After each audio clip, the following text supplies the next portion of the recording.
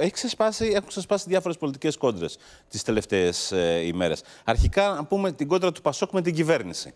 Επιτεθήκατε για το ταξίδι στην, ε, στην Όαση Σίβα. Εντάξει, υπάρχουν ερωτήματα για το ταξίδι αυτό στην ΟΑΣΙ ΣΥΒΑ του Πρωθυπουργού. Νομίζω ότι τέτοιου είδους κινήσεις, ξέρετε, σε άλλες χώρες θα έπαιρναν πολύ μεγαλύτερη έκταση από ό,τι παίρνουν εδώ. Δεν το λέω αυτό με την έννοια τη μηντιακή, με την έννοια την ουσιαστική. Δεν είναι κακό ένας Πρωθυπουργός να επιλέγει να κάνει και δύο μέρες ε, παραπάνω διακοπές. Απλά καλό είναι να το γνωρίζουν οι πολίτες του και νομίζω ότι αυτό το αναγνωρίζουν. Το κυρίαρχο μου ζήτημα, αν μου επιτρέπετε να πω, είναι το ζήτημα της κυρίας ε, Ασημακοπούλου και το τι προκύπτει. Διότι από την πρώτη στιγμή εμείς έχουμε πει ότι είναι ένα σκάνδαλο σε δύο δύο ε, επίπεδα. Ένα σκάνδαλο είναι το σκάνδαλο Ασημακοπούλου, η οποία έχει πει πολλά και διαφορετικά πράγματα και γι' αυτό, από ό,τι καταλαβαίνω, οδηγήθηκε στην απόσυρση. Υπάρχει όμως ένα δεύτερο ζήτημα, το οποίο αφορά το θέμα των προσωπικών δεδομένων. Και τα ερωτήματα είναι συγκεκριμένα. Ποιος ήξερε, τι ήξερε και αν η διαρροή αφορά και άλλα προσωπικά δεδομένα. Μιλάμε για ένα σκάνδαλο μεγατόνων. Βλέπω ότι από το πρωί υπάρχουν ε, αγωγές.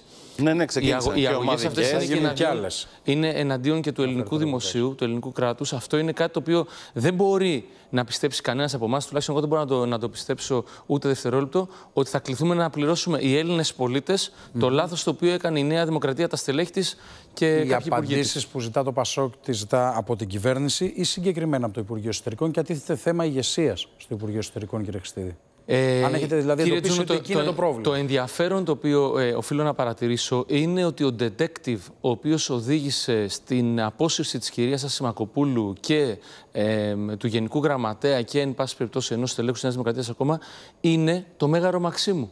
Το Μέγαρο Μαξίμου είναι αυτό το οποίο έχει κάνει η έρευνα, άρα το Μέγαρο Μαξίμου ξέρει πάρα πολύ καλά πού υπάρχει ε, διαρροή. Επομένως, πρέπει να πει με πολύ καθαρό τρόπο εάν υπάρχει διαρροή δεδομένων και για το 2024 και τις ευρωπαϊκές εκλογές, τις οποίες έχουμε σε λίγους μήνες μπροστά μας. Δεν μπορεί να πάμε. Εγώ ξέρετε. Πράγματι... Το Μέγαρο Μαξίμου λέει η δικαιοσύνη θα το βρει. Εντάξει. Το Μέγαρο Μαξίμου πρέπει να πει μέχρι να αποφασίσει η δικαιοσύνη για τη δικαιοσύνη. Πάντως, ο κ. Μητσοτάκης εδώ καθόταν πριν από 10 μέρες που είπε: Κάνουμε και δικιά μας έρευνα. έρευνα ναι, λοιπόν, ο κ. Μητσοτάκης κατέληξε στην έρευνα. Δεν θέλουμε να επιβάλλει ποινή ε, ποινική στον όποιον εμπλέκεται. Πολιτική ποινή θέλουμε σε όποιον εμπλέκεται και να είναι ολοκληρωμένη η εικόνα την οποία έχουμε. Γιατί οι δικαιολογίες ήταν υπηρεσιακή κυβέρνηση, αλλά ταυτόχρονα φεύγουν δύο-τρεις ε, παράγοντες του σήμερα, είναι κάτι το οποίο Άρα, δεν κολλάει. Κύριε, συγγνώμη, η εκτίμηση του Πασόκ, ο κ. Μητσοτάκης έκανε τη δική του έρευνα και οδηγήθηκε σε αυτά τα, τα συμπεράσματα. Εσείς λέτε, η εκτίμηση του Πασόκ είναι ότι από πού έγινε η διαρροή, υπάρχει τέτοια εκτίμηση ή απλά περιμένετε μία απάντηση; Η διαρροή είναι με έναν παλιό